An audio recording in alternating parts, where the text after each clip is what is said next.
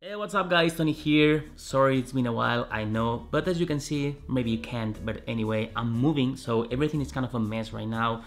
Uh, a lot of my guitars are gone, a lot of my gear is gone, my studio is, you know, all down right now. But uh, something super cool happened and I had the opportunity to have a guitar for a few weeks at home and I think it's one of the coolest guitars that I ever had the opportunity to play for a while, you know, because when you go to a shop, it's not the same. You can play maybe a 50s Les Paul or something, but in an amp that is not yours, you cannot, you know, it's not your perfect environment to say it like that. But as you can see, I still have my OX right there, and I have a Friedman head, uh, a BE100 Deluxe specs uh, right there, modded. It was a BE100, but Dave modded for me, so kind of a uh, Deluxe specs, and I have this guitar with me. So we have here a 1952 to 1958 or 59 conversion, that's totally up to you, whatever you want to call it. Uh, and I'm gonna do a few close-ups for you so you can see the guitar close.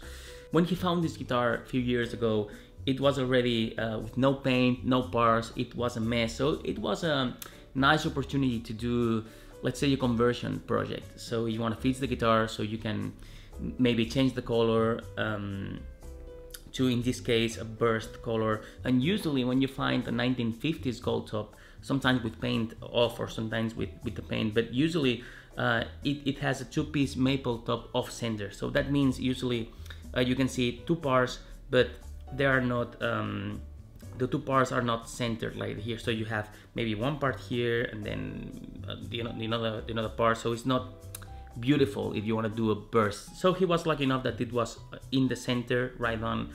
Nice top. It's a plain top, so that's why we call it 58 conversion instead of a 59 because it will be more maybe quilled or flamed.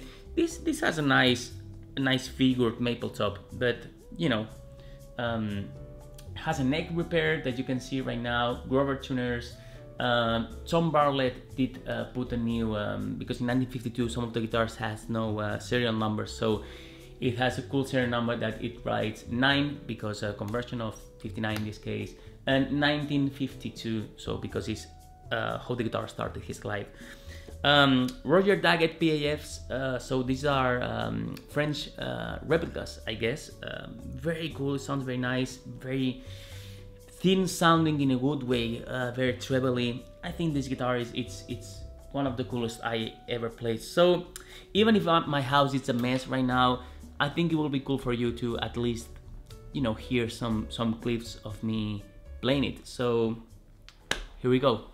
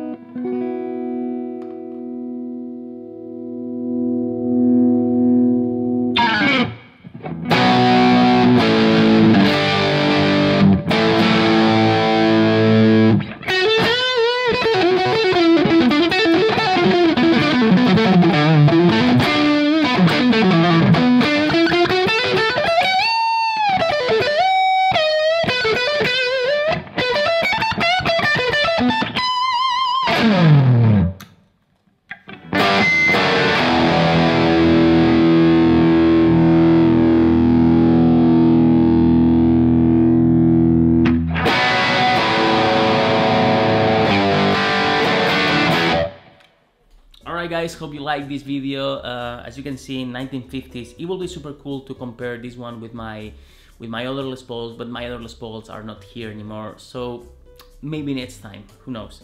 But yeah, if you like the video, please subscribe, enjoy, and um, I will see you soon. Keep rocking.